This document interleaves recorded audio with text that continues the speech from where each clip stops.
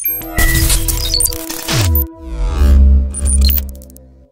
Bonjour à toutes et à tous les amis, bienvenue pour cette nouvelle vidéo. On va revenir à froid sur ce qui s'est passé à Monaco parce que oui, je me suis retapé le match, je me suis refait le match et j'ai un peu analysé certaines choses de manière un peu plus posée. On va aussi avoir un œil sur le match contre Villarreal qui arrive ce dimanche. Avant de parler de tout ce dont j'avais en tête, je vais juste revenir sur euh, ce que j'ai dit dans le débrief avant-hier parce que voilà, faut le dire, c'était à chaud, j'étais un peu tendu, j'étais en colère envers Ter Stegen et il y a quelques personnes qui n'ont pas apprécié, me l'ont fait savoir. Encore une fois, j'ai revu euh, le match, je me suis posé à froid. Aujourd'hui, je suis beaucoup plus calme et je ne regrette absolument aucun mot de ce que j'ai dit, que ce soit dans la forme ou dans la forme, parce que c'est ce que je pense encore aujourd'hui. D'ailleurs, avec les années, moi, je trouve que je me suis pas mal assagi sur cette chaîne pour les plus anciens, parce que même ce que j'ai dit dans le débrief vis-à-vis de Ter Stegen, j'estime que c'est soft par rapport à ceux qui étaient là depuis 3-4 ans environ.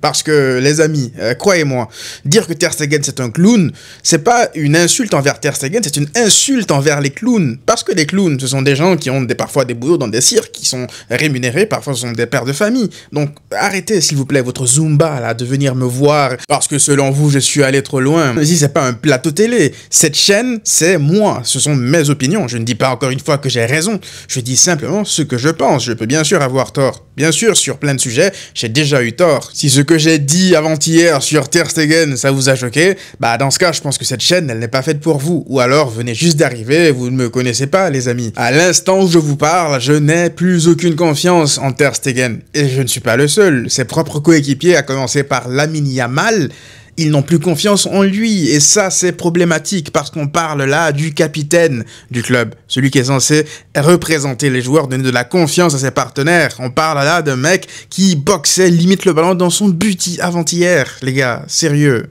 Sérieux, vous voulez aller où avec un gardien pareil?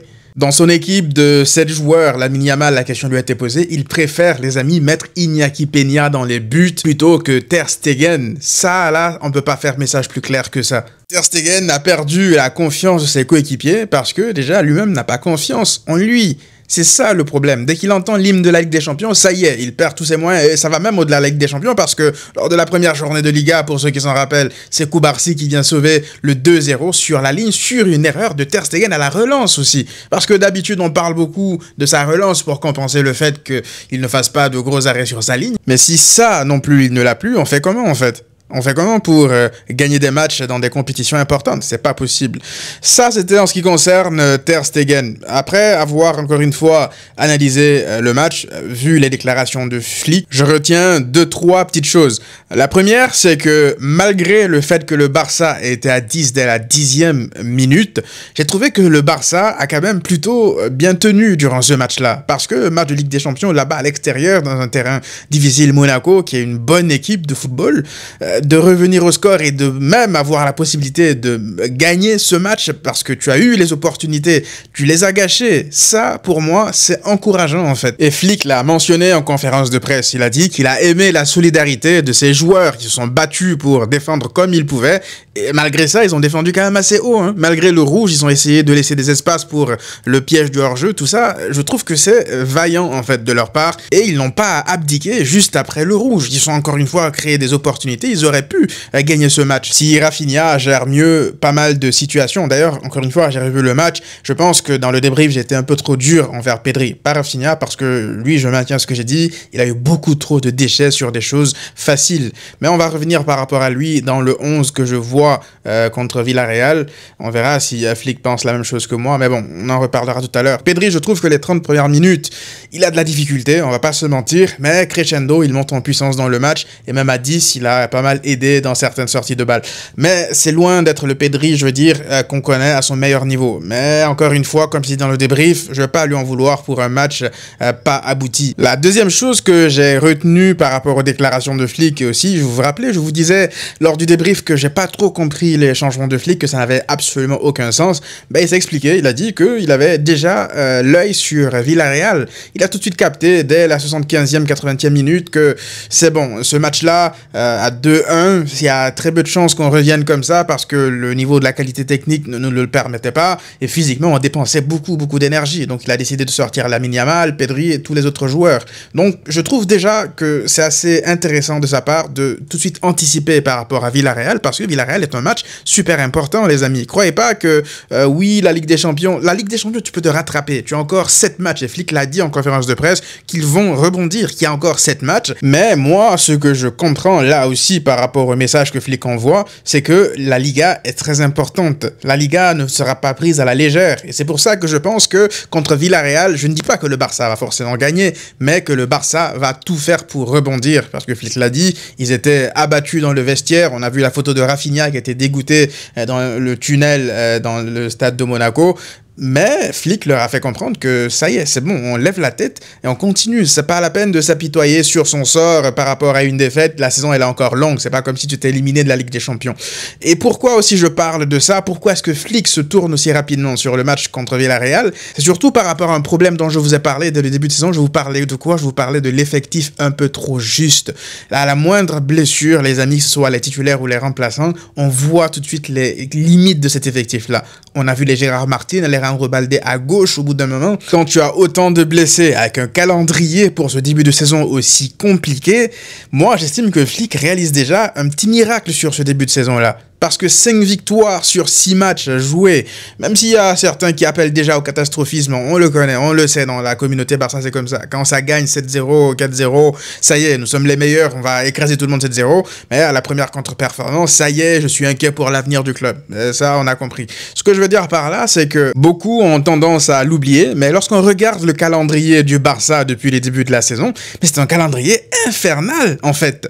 Il y a eu un seul match facile depuis le début de la saison, c'était Valladolid c'était un promu Valladolid, c'est tout. Sinon, tout le reste, c'était soit des déplacements difficiles, soit des équipes compliquées. C'était jamais facile. Alors, je sais que c'est le Barça qui a demandé à jouer beaucoup plus de matchs aller à l'extérieur cette saison pour pouvoir bénéficier des recettes et du nouveau contenu euh, pour la deuxième partie de saison. Mais le Barça n'a pas demandé non plus un enchaînement, par exemple, Gironne à l'extérieur, Villarreal à l'extérieur. Surtout quand tu vois à côté le calendrier du Real, avec des équipes comme Mallorca, comme Las Palmas, comme Valladolid, comme l'Espagne on voyait le calendrier du Barça pour le début de la saison et celui du Real. Il y avait largement plus de chances que ce soit le Barça qui lâche des points. Surtout avec ces blessés-là, parce que tu as été obligé de remplacer Bernal par Casado. T'es en train de bricoler, en fait. T'es en train, là, là, de, de, piocher dans le fond du tiroir. Ce que Flick est en train de réaliser encore une fois avec tous ces blessés-là, c'est pas loin du miracle. Tout ça, c'est pour répondre à toutes les personnes de notre propre commune qui essaient de remettre tout le début de saison en cause à cause de ce qui s'est passé à Monaco. En mode,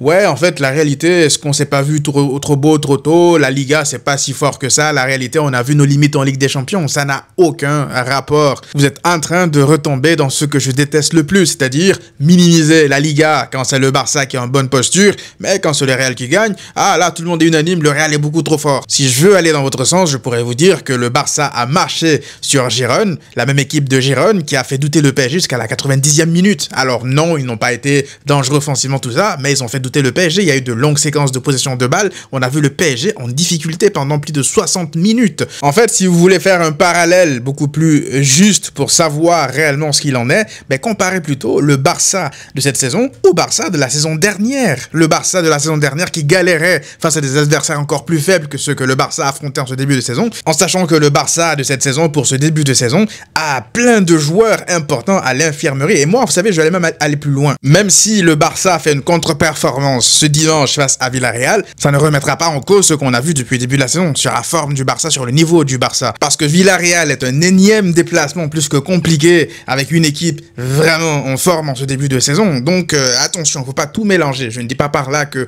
ça sera normal de ne pas gagner à Villarreal. Le Barça doit gagner à Villarreal. Tu dois rebondir à Villarreal. Je vous dis juste que le catastrophisme ambiant que j'ai commencé à lire par-ci par-là, euh, doucement quand même. Maintenant, pour parler du match face à Villarreal, moi je ne pense pas que les joueurs vont sombrer. J'espère évidemment qu'ils ne sombreront pas, qu'ils sortiront un grand match, parce que Villarreal est une équipe euh, joueuse. Je pense qu'ils vont venir aussi chercher le Barça assez haut. Je pense qu'il y aura beaucoup de buts. Je ne sais pas si le Barça gagnera ce match, mais je sens qu'il y aura quand même euh, pas mal de buts. Après, Villarreal, c'est une équipe qui réussit au Barça chez eux, euh, là-bas, depuis maintenant pas mal d'années, même si l'année dernière, ils sont venus humilier le Barça à domicile. Ils sont quatrième du championnat, ils sont sur une bonne dynamique, d'ailleurs un peu comme l'AS Monaco qu'on les joue.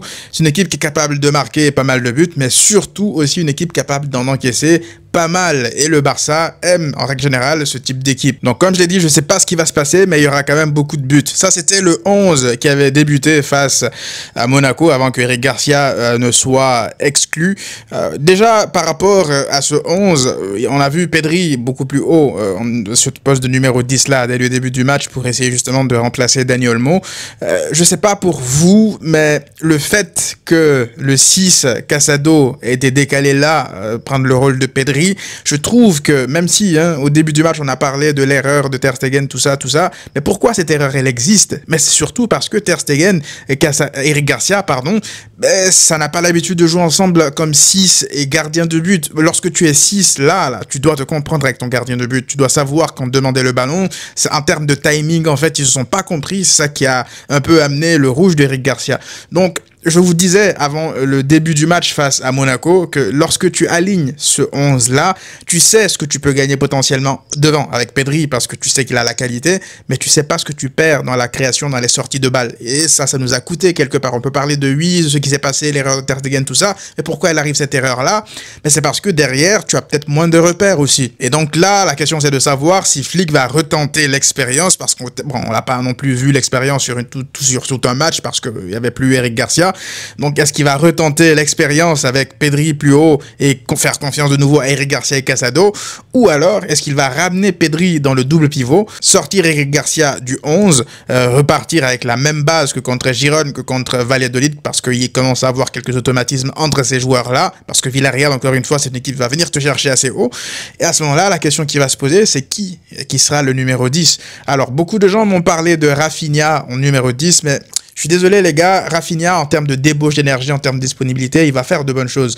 Mais dans la qualité de création, dans la finesse du pied, dans trouver les bons euh, espaces pour euh, délivrer des caviars, Rafinha, il est trop frustrant parfois. Lorsqu'il n'est pas dans un bon jour, il peut rater des passes faciles, des conduites de balle approximatives, donc je le préfère vraiment là, dans le demi-espace gauche ici.